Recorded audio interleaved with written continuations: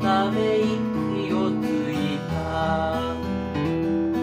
ため息つけばそれで済む。後ろだけは見ちゃダメと。笑ってた白い手はとても柔らかだった。運がいいとか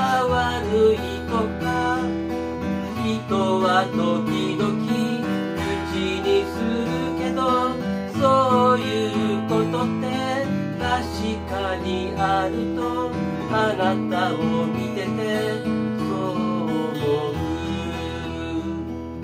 忍ぶ忍ばず縁だか噛みしめるよ。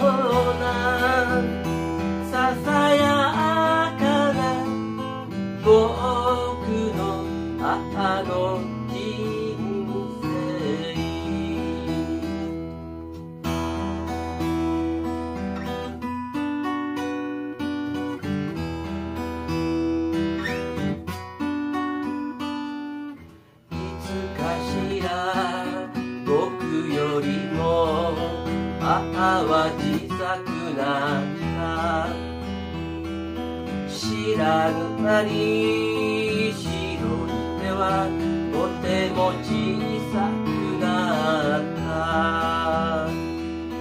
母はすべてを暦に刻んで流してきたんだろう。悲しさや苦しさははずなのに。運がいいとか悪いとか。人は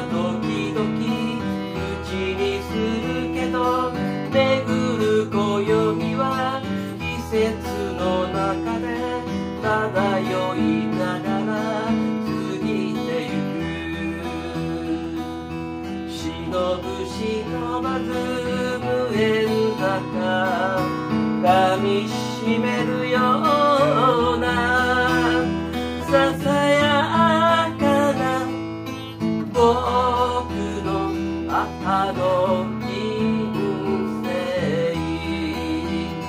ささやかな僕の母の